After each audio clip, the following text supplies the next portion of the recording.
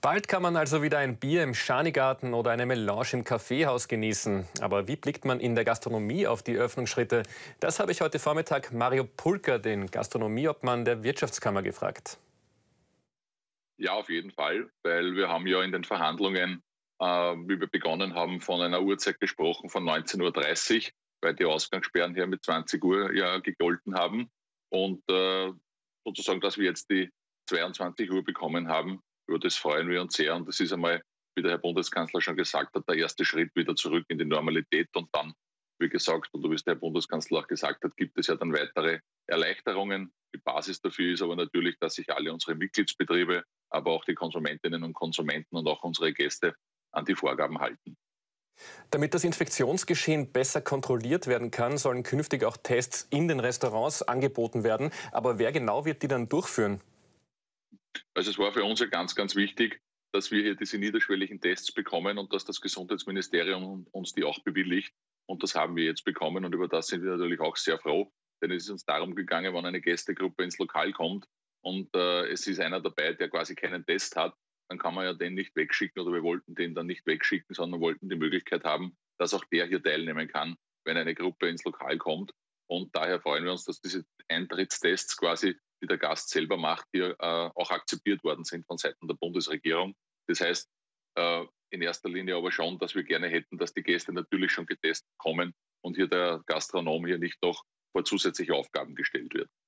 Aber ist denn sichergestellt, dass bis zum 19. Mai alle Lokale ausreichend viele Tests haben und wer zahlt dafür?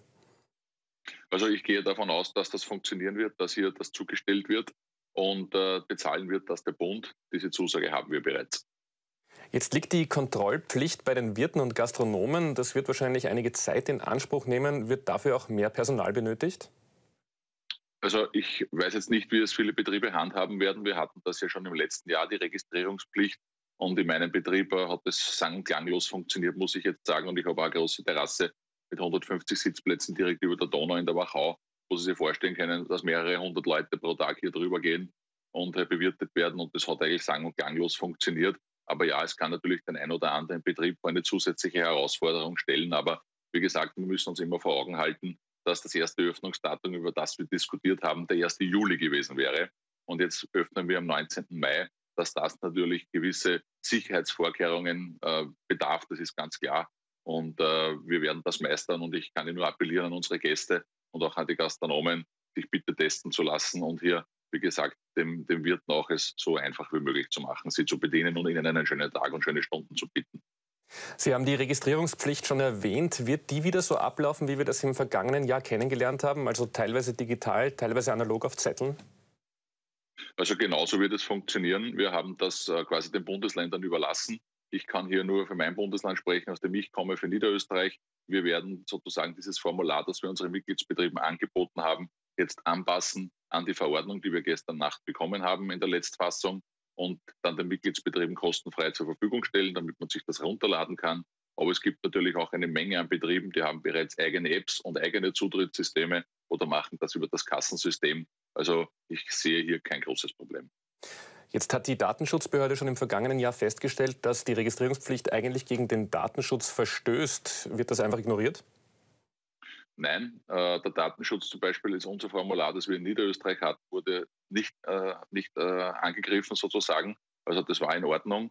Das Wiener hatte ein Problem, ja, das Wiener, das Wiener Gesetz, aber es ist quasi jetzt auch in der Verordnung äh, die Basis dafür geschaffen worden, beziehungsweise in einem vorgegangenen Gesetz, dass hier diese Registrierungspflicht auch rechtens ist. Aber es kommt natürlich darauf an, wie man die dann abführt. Und daher würde ich auch raten, diese Formulare, die hier die Wirtschaftskammerorganisation zur Verfügung stellt, zu verwenden. Jetzt werden also in Zukunft vier Personen Indoor plus Kinder und Outdoor zehn Personen plus, äh, plus zehn Kinder äh, erlaubt sein. Kann man, wenn viel los ist im Lokal, überhaupt den Überblick darüber behalten?